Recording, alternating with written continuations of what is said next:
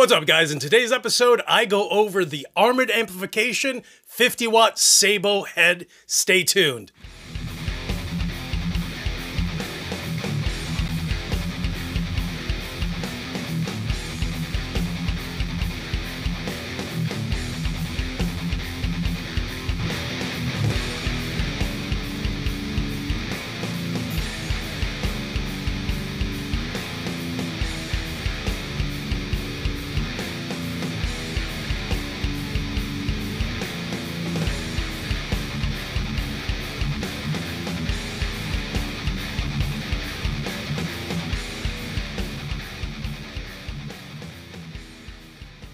What's up, guys? It's your boy Louis Torres, and welcome to another awesome episode. Uh, so, guys, if you missed out on the Goatwhore online concert, you guys missed an absolutely incredible show. Huge shout out to my boy Sammy, the guitarist of Goatwhore. While I was watching the show, you know, throughout the, you know, and every once in a while they would have like a break and they had footage of Sammy talking and the rest of the guys kind of going over their experience uh, while they were preparing for the show. And of course, they had a link to their merchandise.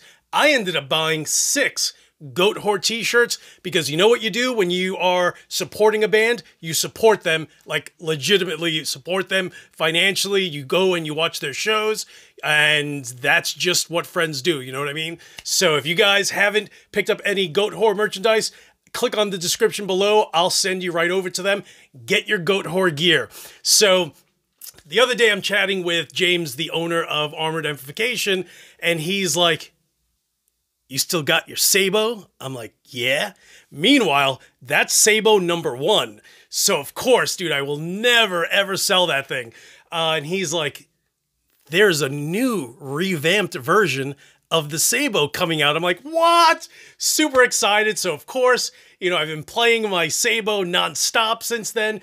And, you know, I have all these amps. So, you know, I have to dedicate some time to each amp. So I kind of make my rounds, right? From my Bogners to my PV, Randalls, uh, Soldanos, my Mesa, and, you know, my Mr. Hector, and of course my Sabot.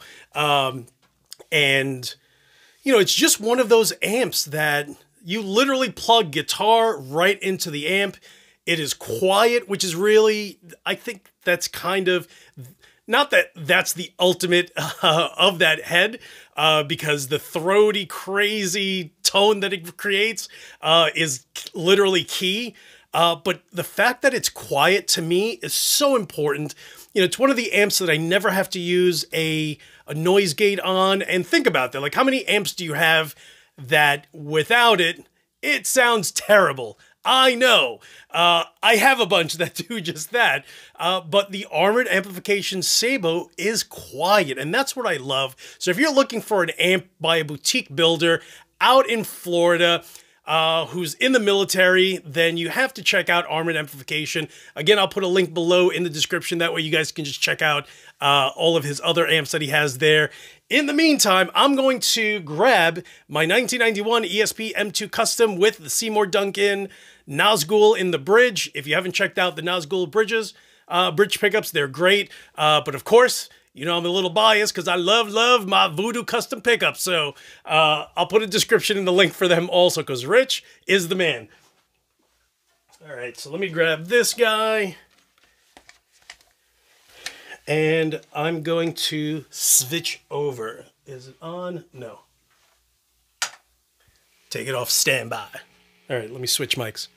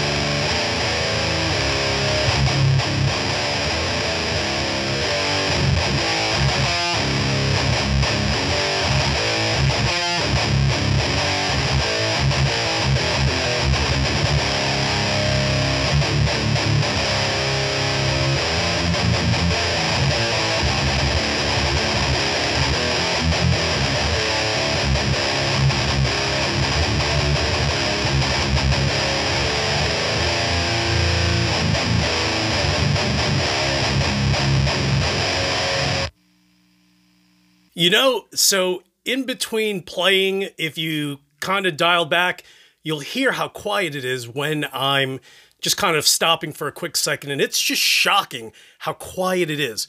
Uh, and I feel like all of these huge companies like Bogner and Marshall, you know, they're great amps, but they are noisy. ah, what were they thinking in making an amp and giving it this gain stage that they have that, you know, you have kind of no control over how noisy the amp is.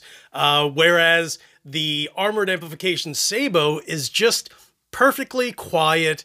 You know, you can play, you can use, um, you know, it's a 50 watt, but you can actually use an uh, attenuator and play at bedroom levels. Like that's insane. Like to be able to play at low levels and still have it be hugely monstrous of a tone and then take it to a show and just crank it when shows come. But you know what? If you are still playing in your band or will at some point get back to your rehearsal time, you know what? Ultimately, in the end, you're going to sit back and be like, What's up, son? You want to check out my new armored Sabot? This thing is a beast, and it totally is. Uh, and if you're if you've never used an amp that has the Jose mod that has a gain one and a gain two stage, what ends up happening is one is your gain, and the other one structures how that gain stage frequency uh, is, you know, gauges. So, you know, imagine using any amp and having to buy, of course, because you always, with all these other amps, you have to buy other things uh, like a noise gate. Uh, but for the most part, when you're using those two dials, um, it's like having, um, do I dare say, uh, something like a, a Boss uh, parametric EQ where you are able to change the frequency uh, so if you don't want that much gain, you can dial it back, but then you can actually use the gain too and structure how you want that gain to sound. If you want it to be a little throatier, if you want it to be a little lighter. So for all you guys who are into progressive metal, you know, if you want super precise notes and the articulation that it comes with um, in the style of metal that you play, then the armored amplification has you covered, whether it's you know, progressive metal or like me where you're just playing dadcore and you're just like, you're not that good. We need a little extra gain. And that's what, you know, I'm able to do. But, you know, you play around with that and do. There's nothing better than using an amp and being able to change its voicing and you know, that's why when I try when I first demoed the armored Sabot, where when James sent it up to me, you know, he had actually contacted a few other people and they're like, What do you think about Louis Torres? Because I have this amp. And uh and he reached out to Jordan uh, from High Wind Amplification. He's just like, he's a good guy. You, I think you'll like working with him. So him and I are talking. He sends me the amp. Yo, I was this close to sending him a check for that amp.